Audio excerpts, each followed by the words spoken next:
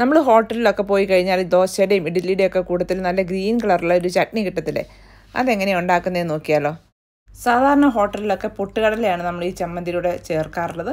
എന്നാൽ ഞാൻ ചേർക്കുന്ന പൊട്ടുകടലയല്ല കേട്ടോ. അതിന്റെ പകരമായിട്ട് വേറൊരു സാധനമാണ് ഇവിടെ ചേർക്കുന്നത്.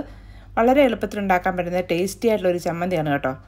ഞാനിവിടെ എടുത്തിരിക്കുന്നത് കുറച്ച് തേങ്ങയാണ്. തേങ്ങയാണ് കേട്ടോ നമുക്ക് കൂടുതലായിട്ട് ആവശ്യമായിട്ടുള്ളത്. നിങ്ങളുടെ അടുത്ത് ചര ചിരണ്ടി തേങ്ങ ഉണ്ടെങ്കിൽ അത് എടുക്കുക കേട്ടോ. എന്റെ അടുത്ത് അത് ഇല്ലാത്തതുകൊണ്ടാണ് ഞാൻ തേങ്ങാക്കൊത്ത് എടുത്തിരിക്കുന്നത്. അത് ഇതുപോലെ ചെറിയ ചെറിയ കഷ്ണങ്ങളായി കട്ട് ചെയ്ത് എടുത്തിട്ടുണ്ട്. അതിനുശേഷം നമുക്ക് ഇതുപോലെ മുളക് ഇട്ട് കൊടുക്കണം. നമുക്ക് എരിവിന്റെ ആവശ്യത്തിന് എരിവ് എന്തോരാണോ വേണ്ട അതനുസരിച്ചുള്ള പച്ചമുളക് ഇട്ട് കൊടുക്കുക. ഒരു ചെറിയ കഷ്ണം ഇഞ്ചിയും രണ്ടല്ലി വെളുത്തുള്ളി ഇട്ട് കൊടുത്തിട്ടുണ്ട്. പിന്നെ മല്ലിയില. മല്ലിയിലയാണ് കേട്ടോ ഇതിന്റെ കറി. ഈ ഒരു ചമ്മന്തിക്ക് നല്ല ടേസ്റ്റ് ആണ് അപ്പം കൂടുതലും മല്ലിയില വേണം. പിന്നെ പുളി അതിൽ വളരെ കുറച്ച് മതി കേട്ടോ.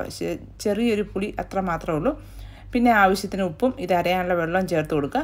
പിന്നെ ഇതിലേക്ക് ഞാൻ ചേർത്ത് കൊടുത്തിരിക്കുന്ന പീനട്ടാണ്. പൊട്ടുകടലയാണ് സാധാരണ ചേർക്കുന്നത്. പക്ഷേ ഞാൻ പീനട്ടാണ് ഇവിടെ ചേർത്ത് കൊടുത്തിരിക്കുന്നത്. ഒരു പ്രത്യേക ടേസ്റ്റാണ് കേട്ടോ പീനട്ട് ചേർക്കുമ്പോഴേക്കും. പീനട്ട് ഒന്ന് ചെറുതായിട്ടൊന്ന് റോസ്റ്റ് ചെയ്ത് എന്റെ സ്കിന്നെല്ലാം കളഞ്ഞ ശേഷമാണ് കേട്ടോ ഞാനിവിടെ അരച്ചെടുത്തിട്ടുണ്ട്. ഇനി ഇത് കുറച്ച് കടുക് താളിച്ച് ചേർക്കുകയാണ് നമുക്ക് ചെയ്യേണ്ടത്. അപ്പോൾ അതിലേക്ക് കുറച്ച് കടുക് ഇട്ട് കൊടുത്തു. എണ്ണ ചൂടായി വരുമ്പോഴേക്കും പിന്നെ കുറച്ച് ഉഴുന്ന് പരിപ്പ് ഇട്ട് കൊടുത്തിട്ടുണ്ട്. പിന്നെ വറ്റൽമുളകും കറിവേപ്പിലയും കൂടെ ഇട്ട് കൊടുത്തിട്ട് ഈ ചമ്മന്തിയിലേക്ക് ചേർത്ത് കൊടുത്തു. പിന്നെ നമ്മൾ ചമ്മന്തി അരയ്ക്കുമ്പം നിങ്ങൾക്ക് എന്തോരം അരയണം അതനുസരിച്ചാണ് കേട്ടോ. ചിലർക്ക് ഒത്തിരി അങ്ങോട്ട് അരയുന്നതാണ്. നല്ല പേസ്റ്റ് പോലെ അരയുന്നതാണ് ഇഷ്ടം. ചിലർക്ക് ചെറുതായിട്ടൊന്ന് തരിതരിയായിട്ട് കിടക്കുന്നതാണ് കേട്ടോ ഇഷ്ടം. ഞാൻ എന്തായാലും ഇവിടെ ഇച്ചിരി തരിതരിയായിട്ടാണ് അരച്ചെടുത്തിരിക്കുന്നത്. അതാണ് കേട്ടോ ഒന്നുകൂടെ ടേസ്റ്റ് എന്നാണ് എനിക്ക് തോന്നിയിട്ടുള്ളത്.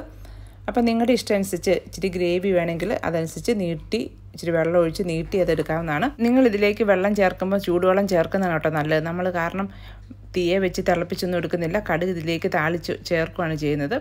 അപ്പോൾ ഇഡ്ഡലിയിലൂടെയും ദോശയിലൂടെയും തന്നെയല്ല കേട്ടോ. ചപ്പാത്തിയിലൂടെ ഈ കറി നല്ലതാണ്. അപ്പോൾ നിങ്ങൾ ഇതുപോലെ ട്രൈ ചെയ്ത് നോക്കിയിട്ടില്ല ഒന്ന് ട്രൈ ചെയ്ത് നോക്കണേ. അപ്പോൾ നിങ്ങൾക്ക് ഇഷ്ടമായെങ്കിൽ നിങ്ങളുടെ ഫ്രണ്ട്സിലേക്ക് ഒന്ന് ഷെയർ ചെയ്ത് കൊടുക്കാൻ വേണ്ടി മറക്കരുത്. അപ്പോൾ ഇതുപോലത്തെ വെറൈറ്റി ആയിട്ടുള്ള ഐറ്റമായിട്ട് ഇനിയും വരാവേ.